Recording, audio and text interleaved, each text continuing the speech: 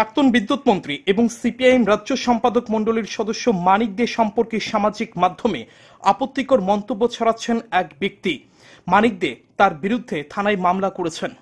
গত তেইশ জুলাই সিআইটিউ, সারা ভারত কৃষক সভা, ক্ষেত মজুর ইউনিয়ন ও উপজাতি গণমুক্তি পরিষদ আহুত আন্দোলন কর্মসূচিকে কেন্দ্র করে সামাজিক মাধ্যমে, অর্থাৎ ফেসবুকে জনৈক অজয় দেব সিআইটিউর রাজ্য সভাপতি মানিকদের বক্তব্যকে বিকৃত করে সম্মানহানি করে পোস্ট করেছেন, যা মারাত্মক আপত্তিকর এবং সম্পূর্ণ আইন বিরোধী এবং রাজনৈতিক উদ্দেশ্য প্রণোদিত হয়ে মানিকদেকে জনগণের কাছে হেয় প্রতিপন্ন করার অপপ্রয়াস। অবিলম্বে এই আপত্তিকর পোস্টের বিরুদ্ধে আইনি ব্যবস্থা গ্রহণ করার জন্য সিপিআইএম রাজ্য সম্পাদক মণ্ডলীর সদস্য তথা প্রাক্তন মন্ত্রী মানিক দে আজ উল্লেখিত সোশ্যাল মিডিয়ার পোস্টের বিরুদ্ধে পশ্চিম আগরতলা থানায় এফআইআর করেছেন। রিপোর্ট, চ্যানেল দিন রাত